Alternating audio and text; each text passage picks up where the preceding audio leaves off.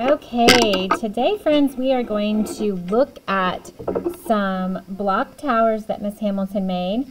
And then I also have some other objects that I brought from our classroom.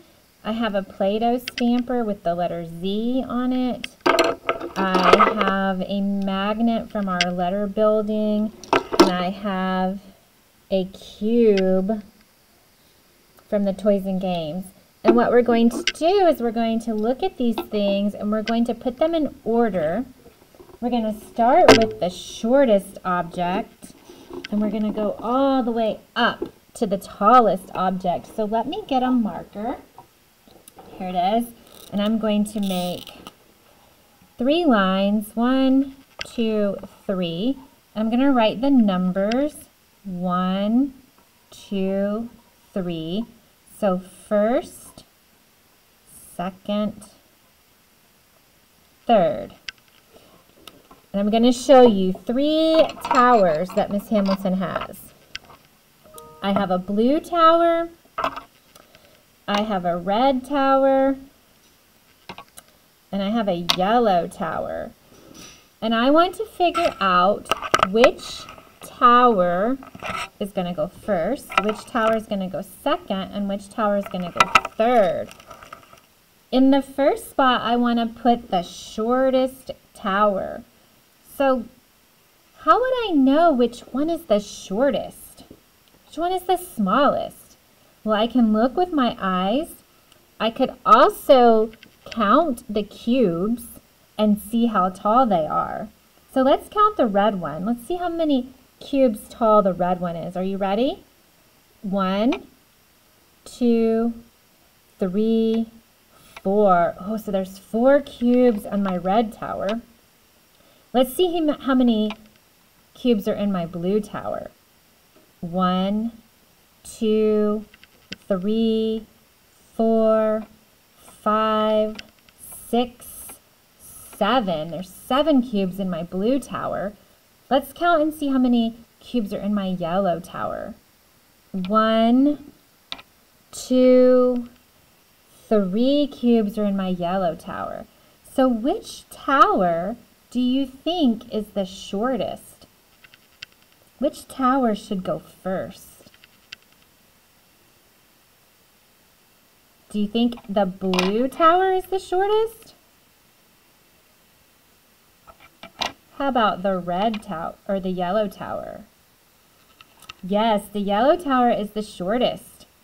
It goes first. Now I have my blue tower and my red tower. So we're not looking at the yellow one anymore. We're just looking at the blue and the red one. When I look at the blue and the red towers, which one is shorter? Yeah, the red one. So it's going to go second. And all I have left is the blue one and it goes third. So I've got I've got short, medium, tall. We put them in order from short, from the shortest to the tallest. Good job. Let's do, let's do another one. We're going to keep the yellow one. We're going to get a pink one this time. And I have a different blue tower. Let's count how many cubes are in the yellow tower. One, two, three. Let's count how many are in the blue tower. One, two, and let's count how many are in the pink tower. One, two, three, four. Which tower is the shortest? The blue one. Good job. Now look at the pink and the yellow. Is the yellow shorter or is the pink one shorter? Yellow. And then pink is third short, medium, tall. Shortest, tallest. The blue is the shortest. The pink is the tallest. We put them in order from shortest to tallest. One more time, friends. This time we're going to use the things that I brought from the classroom. So we have our magnet, we have our stamper, and we have our cube. When you look at these, which one is the shortest? Hmm. I can't really stand them up for you to see. It's hard for you to see that way. But which one do you think is the shortest when you look at those? Do you think that the stamper is shorter than the cube?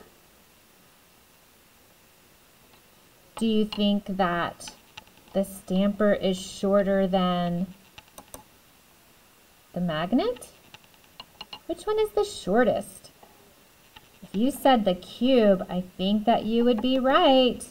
Now, look at the magnet and the stamper. Which one is the shortest?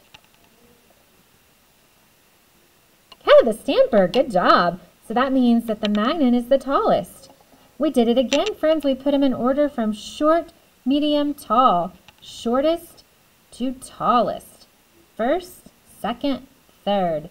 You guys did great. I want you to look around your house and see if you can find three things. Uh, it can be anything that you find. And then I want you to put them in order from the shortest to the tallest.